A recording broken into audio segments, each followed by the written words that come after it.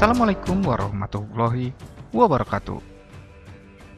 Pertempuran Jalakah dikenal juga dengan Pertempuran Sargajas, yaitu pertempuran yang terjadi antara koalisi dinasti Murabitun yang dipimpin Yusuf bin Tashifin melawan kerajaan Kastilia yang dipimpin Alfonso ke-6. Perang ini diberi nama Al-Zalakah yang artinya perang yang terjadi di tanah yang licin. Tanah itu menjadi begitu licin akibat banyaknya darah yang tumpah hingga membuat para tentara tergelincir. Sebab terjadinya perang Al-Jalakah adalah ketika Alfonso ke-6 merebut Toledo pada tahun 478 Hijriah dari tangan Al-Qadir bin Zi'anun. Dia sangat berhasrat menguasai Sevilla, Cordoba, dan beberapa kota lainnya di Andalusia. Pada tahun 479 Hijriah, para pemimpin Andalus yang dipelopori oleh Muhammad bin Abad kemudian sepakat untuk meminta bantuan kepada Yusuf bin Tashifin, penguasa Murabitun di Marrakesh, Maroko, Afrika Utara. Yusuf menerima panggilan ini dan menyeberang ke Andalus bersama sekitar 7.000 prajurit Murabitun. Yusuf dan tentara Murabitunnya lalu mengumpulkan serdadu dari seluruh Al-Andalus dan jumlahnya tentara mencapai sekitar 30.000 orang. Ia bergerak dengan tentaranya ke utara hingga mencapai Al-Jalakah, di pihak lain, Alfonso mengerahkan pasukan dari segala macam usia.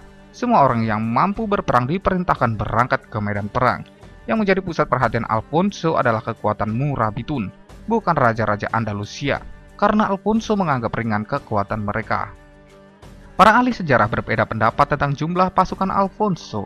Ada yang mengatakan 50.000 atau 60.000, atau ada yang mengatakan 80.000 pasukan berkuda yang memakai baju cirah, belum menghitung yang lain, dan ada yang mengatakan pasukan Alfonso berjumlah 80.000 kesatria berkuda beserta 200.000 prajurit infanteri. Kedua pasukan telah berdekatan pada hari Kamis tanggal 12 Ramadan. Mereka telah berada di sebuah tempat yang disebut dengan Jalakat. Antara mereka hanya terpisah oleh sungai yang disebut dengan Sungai Bitalsius. Ketika Yusuf melihat pasukan Alfonso VI berjumlah sangat besar dengan keadaan yang sangat baik, persenjataan lengkap, dan sangat kuat, maka Yusuf berkata kepada Mutamid, Aku tidak mengira pasukan mereka sebanyak ini.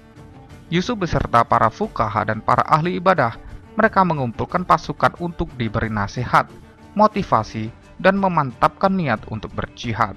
Yusuf membagi tentaranya menjadi tiga divisi.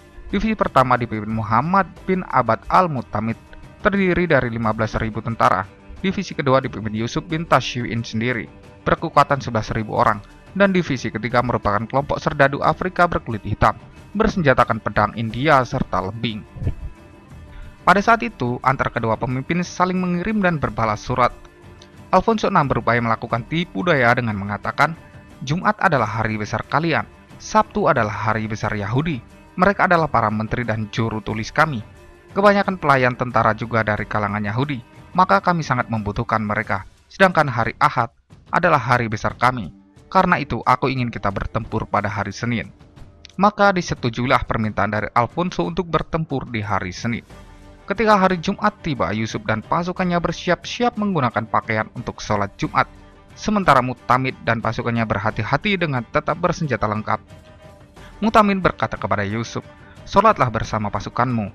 Hari ini hatiku tidak merasa lega. Kami akan berada di belakang kalian. Aku memperkirakan tujuan Alfonso adalah untuk menyerang kaum muslimin. Yusuf dan pasukannya kemudian melaksanakan sholat.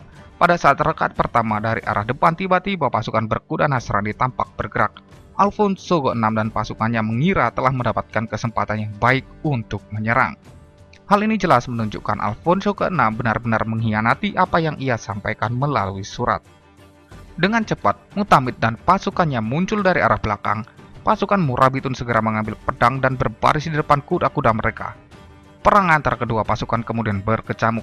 Yusuf bin Tashfi'in beserta pasukannya merupakan orang-orang yang tabah dalam peperangan dan pertempuran ini sangat menentukan nasib umat Islam Andalusia. Jika saja pasukan muslim kalah dalam pertempuran ini, maka Andalusia akan runtuh lebih cepat dan dikuasai seluruhnya oleh kerajaan Kristen.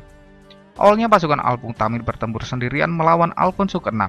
Lalu selepas siang, Yusuf dan pasukannya ikut menyerang dan mengepung Alfonso VI dan pasukannya. Pasukan Alfonso panik dan mulai kehilangan posisinya. Lalu Yusuf memerintahkan divisi ketiga untuk ikut menyerang dan menyelesaikan pertempuran. Menurut sumber asli pertempuran, korban dari pihak Alfonso amatlah besar. lebih dari 59.500 tewas. Hanya 100 kesatria yang berhasil kembali ke Kastilia, termasuk Alfonso ke-6 sendiri yang kehilangan salah satu kakinya. Atas pertolongan Allah taala, pasukan Islam berhasil memenangkan pertempuran. Mereka berhasil memukul mundur pasukan Kastilia dipimpin Alfonso. Pasukan muslim berusaha mengejar pasukan Kristen yang kocar-kacir, tetapi Yusuf memerintahkan mereka untuk menghentikan pengejaran. Ia tidak ingin jika ada yang terbunuh lagi di antara mereka. Korban dari pihak muslim juga cukup banyak, khususnya pasukan Daud bin Aisyah, yang campnya diserang pada awal pertempuran, serta pasukan Gubernur Badajos Al-Mutawakil bin Al-Aftas.